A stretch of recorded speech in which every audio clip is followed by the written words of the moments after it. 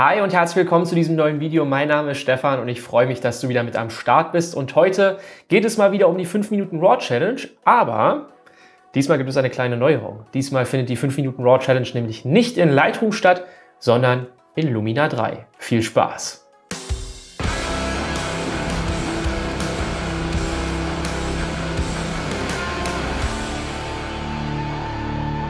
Wenn du mir noch nicht auf Instagram folgst, dann kannst du das gerne tun. Stefan Schäfer 90 heiße ich dort. Wie immer der kurze Hinweis am Anfang des Videos. Ich würde mich freuen, wenn du mir da auch folgen würdest. Da poste ich immer meine neuesten Bilder. Aktuell gibt es relativ viele Fotos von den Färöer Inseln. Dort war ich ja zuletzt und äh, da kannst du dann auch die Ergebnisse entsprechend sehen. Nächstes Jahr gibt es dort auch Workshops auf den Färöerinseln. Der erste Workshop ist schon so gut wie voll, also falls du da noch Interesse hast, auf jeden Fall schnell beeil dich. Die letzten Plätze sind da noch frei. Ansonsten wird es wahrscheinlich auch noch einen zweiten Termin geben, damit ich da allen gerecht werde. Jetzt lass uns starten mit der 5 Minuten Raw Challenge. Ich freue mich ganz besonders darauf, denn ich habe wieder zwei wunderbare Fotos bekommen von euch. Zum einen hier von dem Maximilian, das eine Bild in der Landschaft hier mit dem Menschen drin. Zum anderen hier, ja, ein Porträt, äh, nicht ganz, aber es ist auf jeden Fall People-Fotografie ähm, hier und das ist von dem Volker. Also diese beiden Fotos werde ich hier heute bearbeiten und zwar dieses Mal in Lumina 3. Da haben wir ein paar andere Möglichkeiten.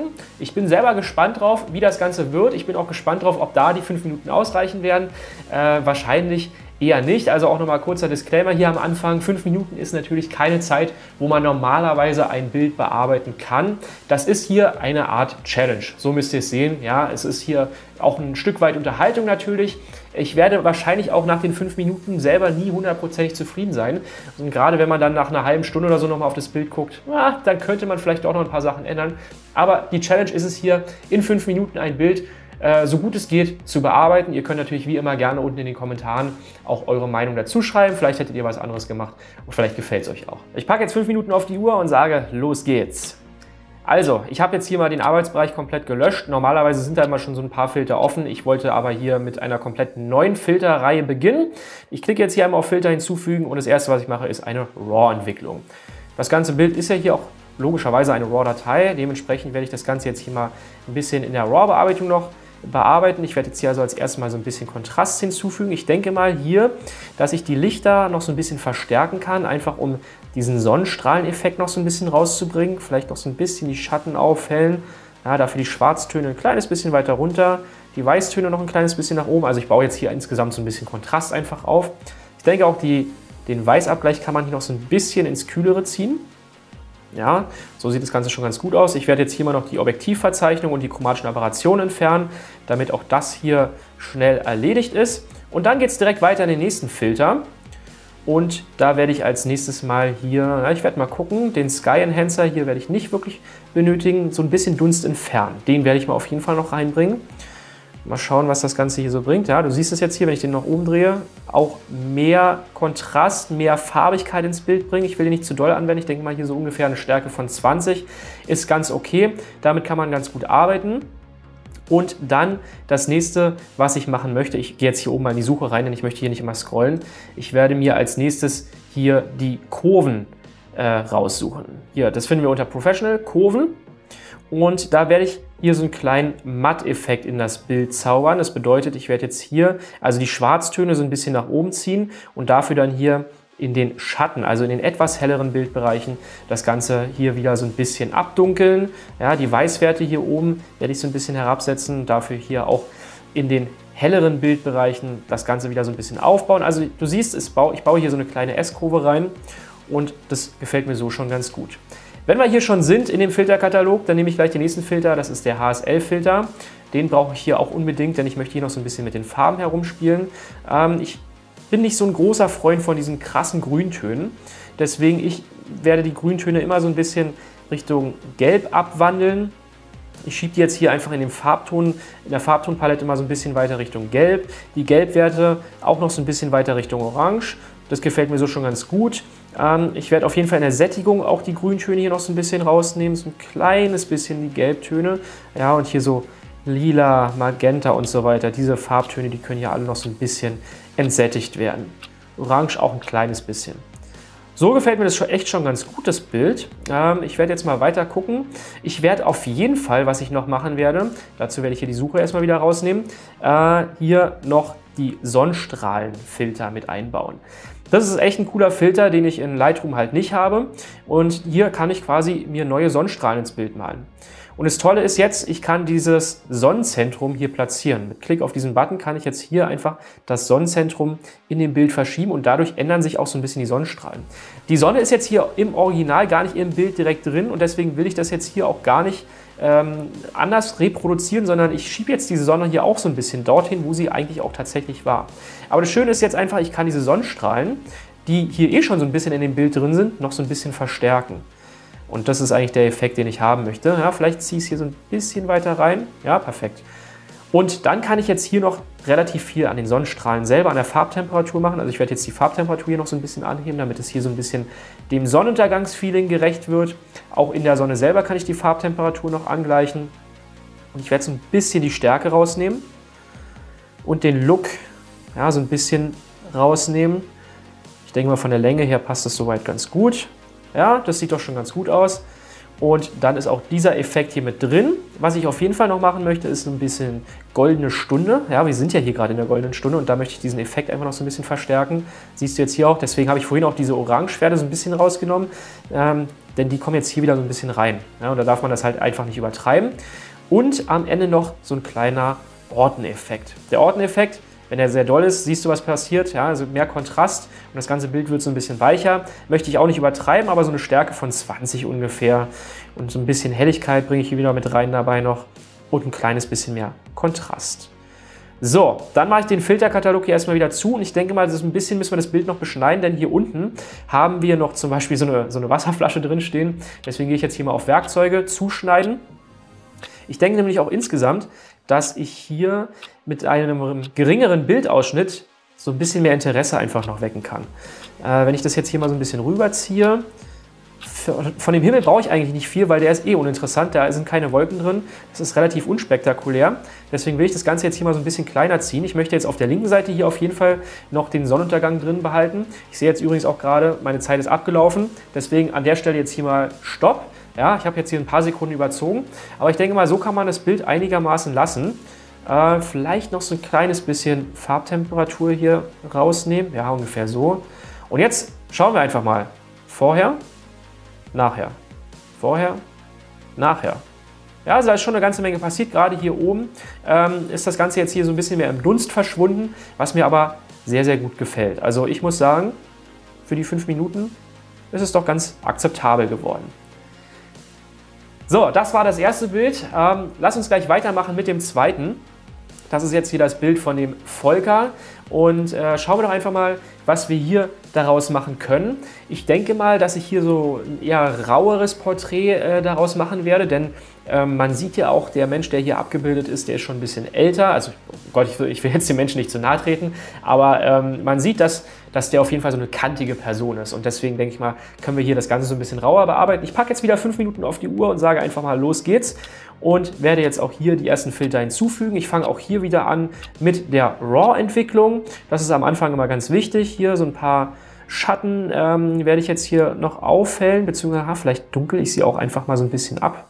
Ich denke mal, ich dunkel sie noch, noch so ein bisschen ab. Lichter so ein kleines bisschen abdunkeln. Schwarztöne so ein kleines bisschen nach unten, Weißtöne so ein bisschen nach oben. Einfach um hier noch so ein bisschen Kontrast aufzubauen. Ja, der Kontrast insgesamt kann auch noch ein Stück weiter nach oben das ist so schon ganz okay.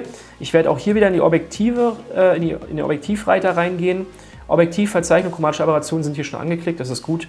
Ähm, also das kann man so lassen. Und dann werde ich mal gucken, der neue Accent AI Filter 2.0. Der ist jetzt seit dem neuesten Update draußen, was ungefähr seit einer Woche da ist, dieses Update. Könnt ihr mal gucken, falls ihr Lumina schon besitzt. Einfach mal schauen nach dem Update, gibt es kostenlos. Ansonsten, wenn ihr Lumina neu haben wollt, dann könnt ihr auch jederzeit Lumina kaufen. Da ist dieser neue Accent AI Filter mit dabei. Und das Coole an diesem Filter ist, ich habe es auch schon mal in einem anderen Video erklärt, ähm, der erkennt jetzt automatisch, wo die Personen sind und äh, wird jetzt diese Person also nicht mehr mit involvieren in diesen Effekt. Stattdessen wird jetzt wirklich nur noch der Hintergrund hier quasi bearbeitet. Und dieser Accent AI Filter, künstliche Intelligenz, hält das ganze Bild so ein bisschen auf, beziehungsweise gleicht die äh, Helligkeiten so ein bisschen an, gleicht den Kontrast ein bisschen an, die Farbigkeit und so weiter. Und der gefällt mir hier an dieser Stelle sehr, sehr gut. Dann werde ich mal den Grünverbesserungsfilter hier noch mit reinnehmen. Hier mal die Stärke ein bisschen nach oben stellen. Ähm, und jetzt einfach mal hier vom Farbton noch so ein bisschen gucken, dass ich das Ganze mehr so ein bisschen Richtung herbstliche Farbtöne bringe. Stärke wieder so ein bisschen weiter runter, ja, so auf 10 ungefähr. Das gefällt mir so schon ganz gut. Dann werde ich auch hier als nächstes wieder in die HSL-Tabelle reingehen. Denn auch hier möchte ich wieder so ein bisschen noch an dem Look arbeiten. Gerade von der Sättigung her, das Grün, das kann hier so ein bisschen entsättigter sein. Auch das Gelb kann so ein bisschen entsättigter sein. Hier, wir haben auch viele Gelbtöne in den, in den Grünen im Gras und in den Bäumen drin. Deswegen auch immer das Gelb so ein bisschen mit beachten. Also nicht nur das Grün. Äh, das Rot können wir auch noch so ein bisschen entsättigen. Ich finde äh, das Hemd hier sehr, sehr schön. Das kann auch durchaus hier äh, im Vordergrund sein, aber so ein bisschen müssen wir das Ganze hier so rausnehmen. Ne? So ein bisschen Orange habe ich auch noch rausgenommen, lila, magenta. Also ich möchte das ganze Bild hier einfach so ein bisschen entsättigen. Ich denke mal, so passt es schon ganz gut. Und dann werde ich als nächstes auch hier wieder mit Kurven arbeiten, denn ich möchte diesen Effekt, den ich gerade eben bei dem anderen Bild gemacht habe, ich glaube, der passt hier auch richtig gut. Wenn man jetzt hier ja, auch wieder die Schwarztöne so ein bisschen äh, rausnimmt, quasi, die so ein bisschen heller macht, die Weißtöne so ein bisschen rausnimmt. Ja, das hat einfach so einen coolen Effekt. Gerade hier bei diesem Foto finde ich das extrem stark. Ich denke mal, hier so kann man noch so ein bisschen, ja, so ein bisschen mehr Kontrast reingeben. Nicht zu viel, aber so passt es auf jeden Fall schon richtig gut. So, dann äh, sollten wir auf jeden Fall auch noch mal gucken, dass wir hier mit Klarheit arbeiten. Ich habe es ja vorhin gesagt, ich möchte das ganze Bild so ein bisschen rauer gestalten und da ist natürlich Klarheit gefragt. Und wenn ihr jetzt hier mal guckt, Klarheit, wenn ich den nach oben ziehe, ja, das bringt das ganze Bild in den Mikrokontrast noch so ein bisschen weiter nach vorne. Ich denke mal, ich werde jetzt hier so ungefähr eine Stärke von 60 anwenden. Ist normalerweise relativ stark. Ich sage normalerweise immer so, ha, seid vorsichtig mit dem, was ihr macht, wenn ihr den Klarheitenregler benutzt. Aber an dieser Stelle funktioniert das Ganze echt richtig gut.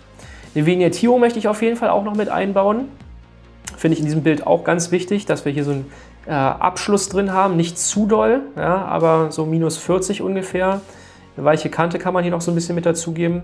Und die innere Helligkeit, das finde ich auch ganz spannend. Man kann hier tatsächlich in diesem Filter auch den inneren Bereich noch mal so ein bisschen aufhellen. Im Gegensatz zu dem äußeren Bereich. Und das ist auch ein Effekt, den ich hier an dieser Stelle richtig toll finde. So, das sieht doch soweit eigentlich schon mal ganz gut aus. Ähm, ich werde auch vielleicht hier so einen leichten Matt-Look mal noch mit reinbauen. Ich meine, ich habe das im Endeffekt ja schon mit den Kurven gemacht, aber ich kann auch hier an dieser Stelle nochmal den Matt-Look so ein bisschen verstärken. Ich zeige dir das jetzt hier an dieser Stelle mal. Also man darf es nicht übertreiben, aber einfach nur mal, dass du beide Wege kennenlernst und äh, vielleicht funktionieren die kombiniert auch ganz gut miteinander. Verblassen werde ich mal gucken. Ja, nee, das sollte man nicht zu doll nehmen. Da mache ich mal maximal so 10, aber dafür noch ein bisschen mehr Kontrast. Ja, das gefällt mir so eigentlich schon ganz gut. Ja, also da haben wir jetzt echt schon eine ganze Menge herausgeholt. Ich denke mal, so kann man es fast schon lassen. Ich weiß gar nicht, ob ich unbedingt noch mehr machen möchte. Ich habe zwar jetzt noch 20 Sekunden, aber ich würde fast behaupten, das kann man so lassen. Ich würde jetzt das ganze Bild noch so ein kleines bisschen schärfen zum Abschluss. Ja, also hier so ein bisschen die Stärke nach oben drehen auf ungefähr, na, vielleicht so 20, 19 bis 20. Den Radius dafür so ein bisschen weiter nach unten. Und hier maskieren kann man ruhig noch so ein bisschen weiter nach oben stellen. Dass man also tatsächlich hier wirklich nur die Bildbereiche schärft, die wirklich notwendig sind. Jetzt sind die fünf Minuten auch hier vorbei und ich möchte dir natürlich auch hier einen Vorher-Nachher-Vergleich zeigen. So sah das Bild vorher aus, so sieht es jetzt aus. Ja, also auch eine ganze Menge passiert im Look. Mir persönlich gefällt es sehr gut. Wir haben hier so ein paar Überstrahlungen drin.